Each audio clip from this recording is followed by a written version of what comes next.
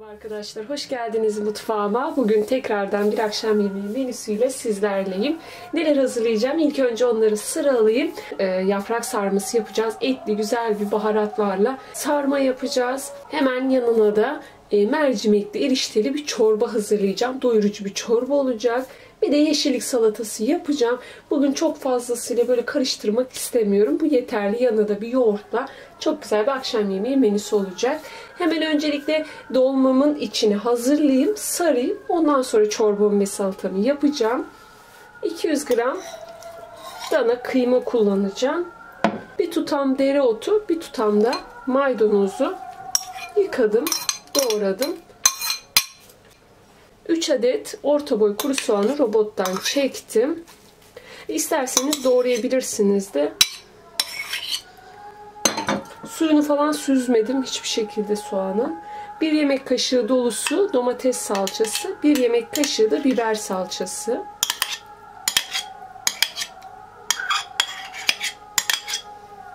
Yarım limonun suyu, 1 tatlı kaşığına yakın tuz, e, yaprağınızın tuz oranına göre içerisine tuz eklersiniz. Nane, kırmızı toz biber, kırmızı biber ve karabiber. Onlar da hemen hemen bir tatlı kaşığı kadar. Bir su bardağı ayçiçek yağının yarısını içine, yarısını da dışına dökeceğim. 2,5 su bardağı pirinci yıkadım, süzdürdüm. Onu da ilave ediyorum.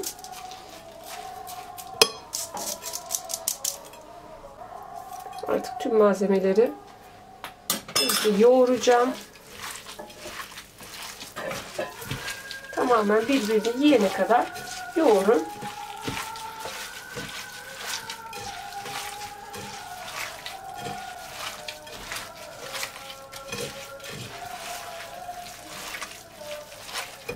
Tamamen yoğurdum artık. Kenara alayım. Yarım kilo kadar yaprak kullanacağım. Tam yarım kilo yaprağı böyle başlarını kopardım. Gördüğünüz gibi ben bu şekilde önceden hazırlıyorum. Saracağım zaman daha kolaylık oluyor. Ve burada e, yapraktan birkaç tanesini altına serdim. Dibine tutma durumu için falan. Saplarını da böyle altına koyuyorum ben. E, daha iyi oluyor. Bu şekilde hazırladım şimdi. Tenceremi kenara alıyorum. Ben birkaç tane birden sarıyorum. O yüzden şöyle üzerine sığdığı kadarını şöyle yayı sereyim.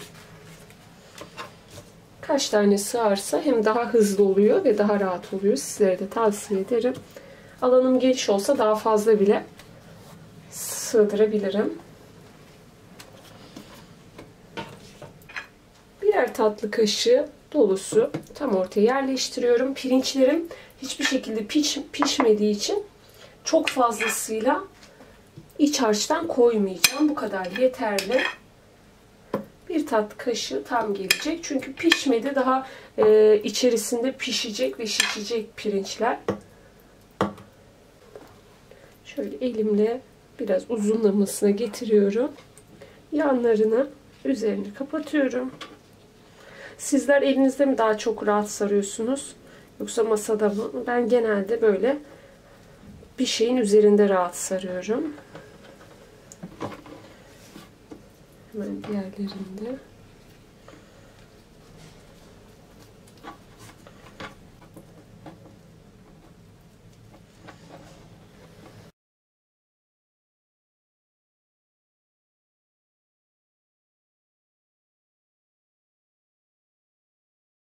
Çok aşırı derecede sıkmıyorum ama çok gevşek de bırakmıyorum. Normal hafif böyle elimle sıkarak ittiriyorum.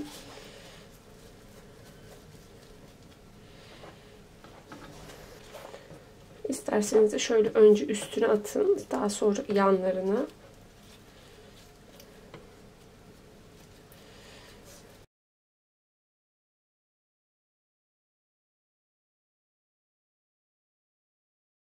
Tencereyi hemen dizmeyeceğim. Sardıklarım öncelikle tabağın içine alacağım.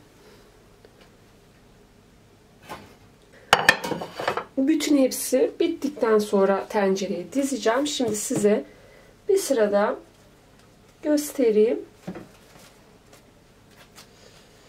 Ondan sonra ben yere oturup yerde bir güzel saracağım. Çünkü ayakta sarmakta zorlanıyorum ben birazcık. Özellikle böyle televizyonun karşısına geçip yaprak sarmak çok zevkli oluyor. Hele ki işiniz yoksa akşamdan böyle sarıp ertesi güne pişirdiğiniz zaman çok rahatlık oluyor.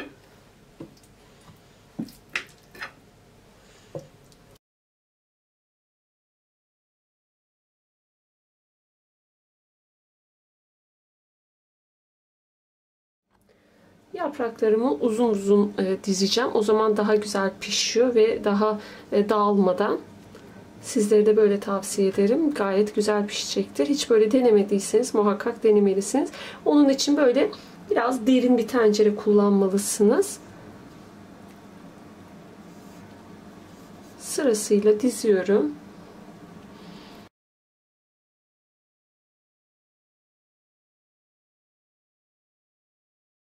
E, tencerem e, çok fazlasıyla büyük geldi. Biliyorsunuz bunu yapmıştım ama bundan e, ters çevirdim. Geri buna çevirdim. Yani daha küçük bir tencereye hazırladım. Hepsini dizdim. Tam yetti. Şimdi artık ocağın başına geçip üzerine bir sos hazırlayacağım.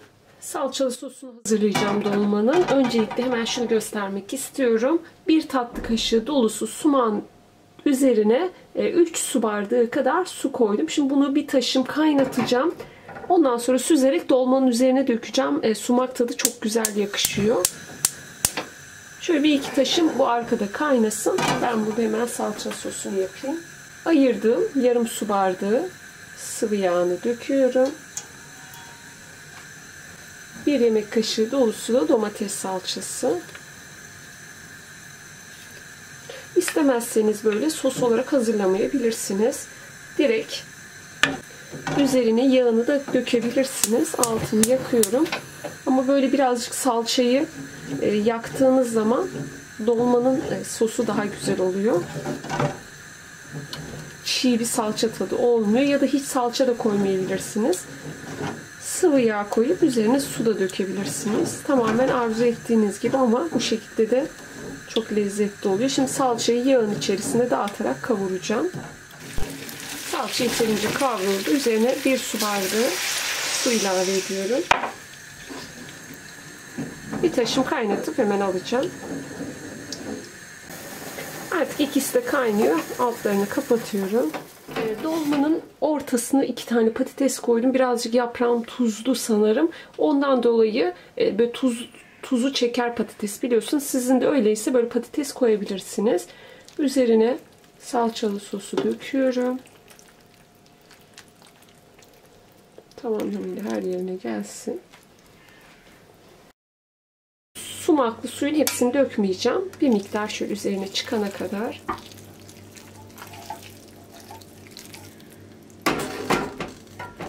Yeterli.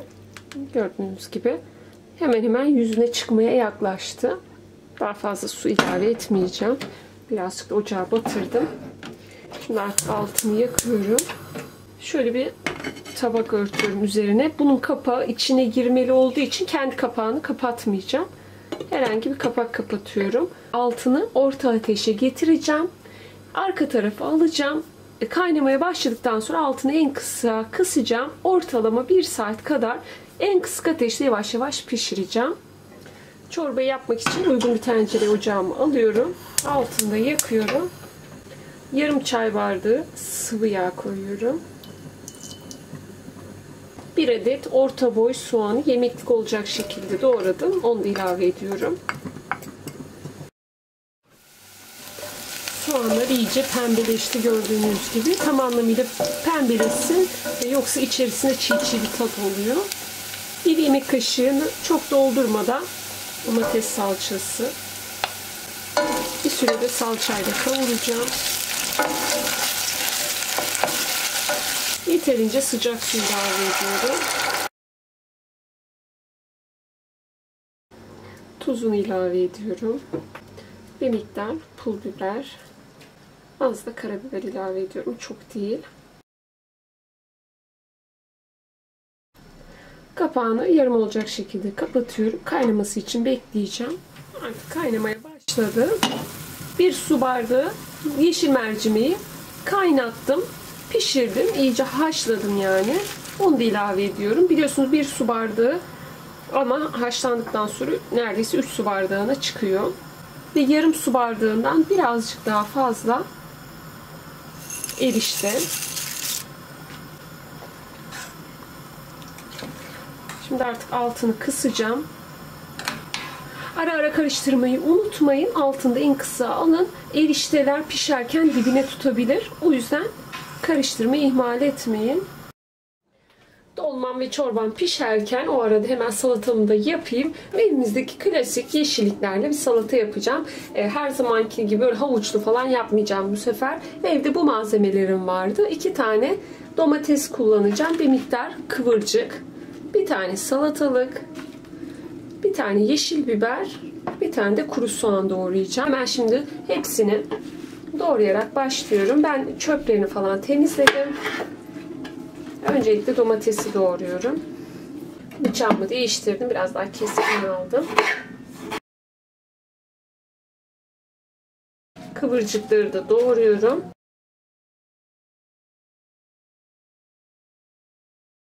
Soğanı da yemekli, yemeklik olacak şekilde doğrayacağım.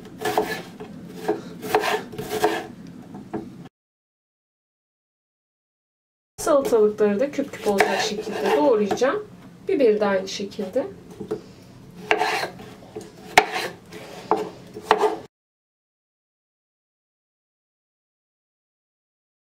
Tüm malzemeleri doğradım. Şöyle dereceli için alayım.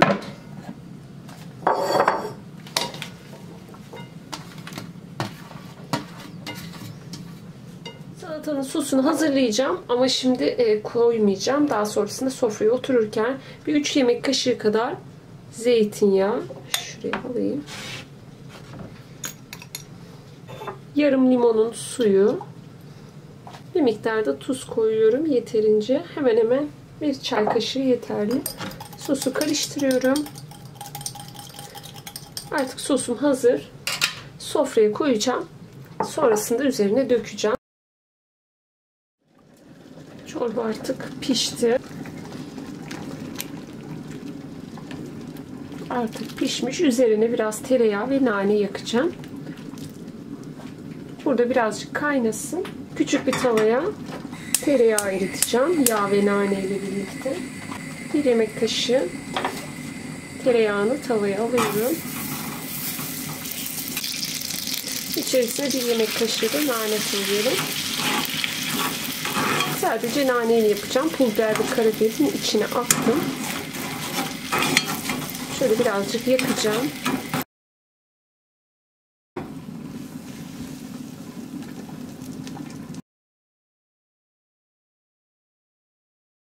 Bu çorba birazcık koyu güzel oluyor. Tamamdır. Çorbam hazır artık. Onun altını da kapatıyorum. Daha sonrasında koyulaşırsa kaynar su ilave edebilirsiniz.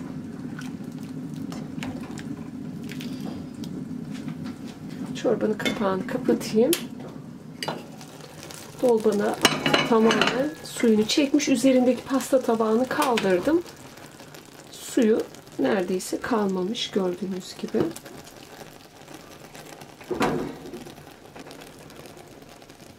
Pişmiş artık. Bunu da kapatıyorum. Bir 15-20 dakika dolmayı bu şekilde dinlendireceğim. Ondan sonra çevireceğim. Şöyle borcama çevirebilirim. Hep taştığı için tencerem batmış.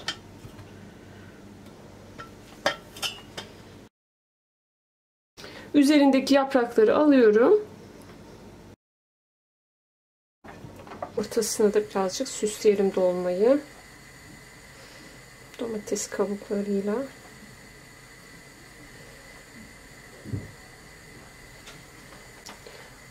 Limonla da aralarını atıştırıyorum şöyle.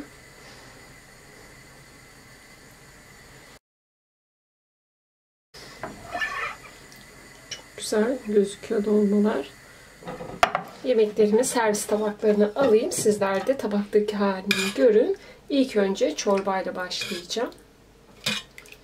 Çok doyurucu bir çorba oluyor gerçekten. Çok da güzel oluyor.